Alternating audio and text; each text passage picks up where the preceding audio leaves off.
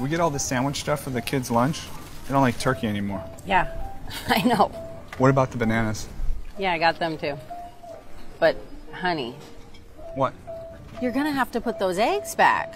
They don't like eggs anymore? No, they like eggs, but we have to set that $7 aside. For killing Palestinians? What? I mean, don't we give Israel $4 billion a year, anyways? Yeah, and now we're giving them another $14 billion. Do you know how much that is per American taxpayer? No. It's like $85 per person. Apparently, it's costing us a lot of money to drop bombs on Gaza. it's terrible. Yeah. Don't they get universal health care too? Yeah, they do. We're paying for that too, probably. Might as well put the bananas back. Why the f do we have to pay for all of this? Don't cuss at me. I'm Cenk Uygur and I approve this message. Let's save lives together at cenkforamerica.com.